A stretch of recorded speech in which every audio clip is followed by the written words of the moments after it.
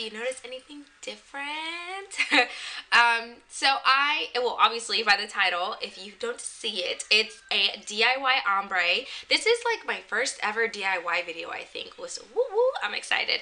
Um, so lately I had gotten the itch to do something with my hair. I haven't done anything to my hair in over two years, um, just because I was blonde for five years, like blonde blonde like highlights on highlights on highlights blonde. And it really really damaged my hair. So I gave my hair a break and I'm very happy with how it's recovered.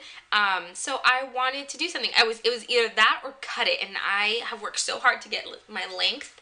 So I didn't want to cut it just yet. But so yes, I did do some research um, before I did my DIY. I looked up some videos and read some articles and I just went with my gut. Um, I will post the link to my favorite video down below. Um, and I did use all the products that she used except for the conditioners. So basically, I had gone back and forth between the L'Oreal Feria and then the preference, the platinum one. I don't have the box. I left it at my mom's house, but um, I will also have that link to the exact box down below with the exact picture of the girl that you should be looking for because there's like three different ones and you want the one that I'm showing you um, because it'll lighten up to seven shades, not four or one or whatever. But I was going back and forth between those because one is the ombre kit and one is a platinum blonde kit. And the ombre kit comes with the brush, it comes with all the necessary tools to get the ombre effect. The other one is just for bleaching. And the reason I didn't go with L'Oreal, the Feria Wild Ombre, whatever it is, because um, from my experience in the past, when I use a box that is specifically made for brunette hair, it never gives me the results that I want. It always gives me orange. Not even like this, this kind of looks a little brassy, but in real life it's not. But I've been like orange orange before so I didn't want to risk it um and like I said I hadn't done anything to my hair in over two years. So this is all natural. This is my natural hair color super dark brown. And there's no no color on the ends no perming none of that craziness.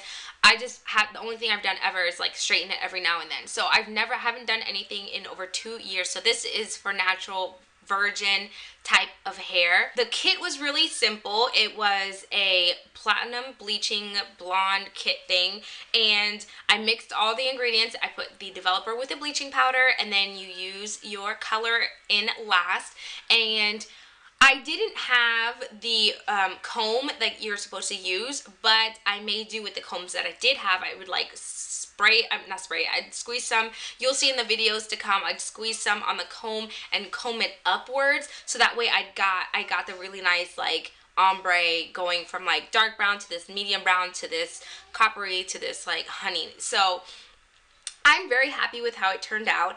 Um, what else do I want to tell you? I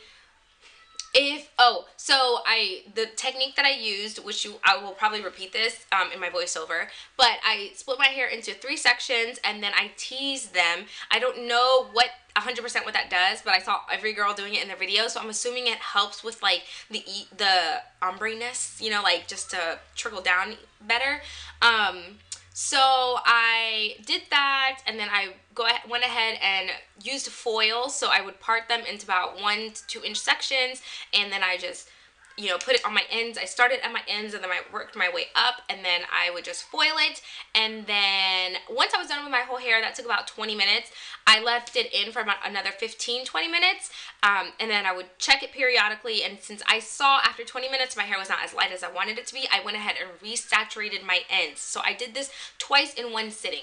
I do not recommend you doing this twice in one sitting if you're not comfortable with it or if you have excessively dyed, damaged, overly processed hair.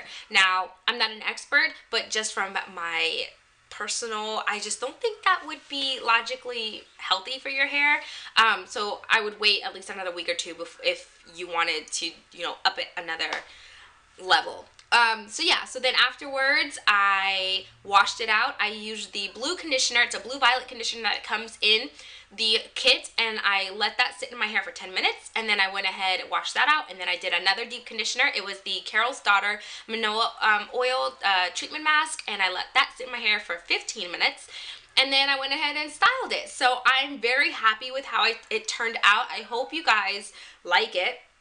Um, but it was really easy. It was, I mean, I went with my gut of what I felt would work for my hair from past experiences.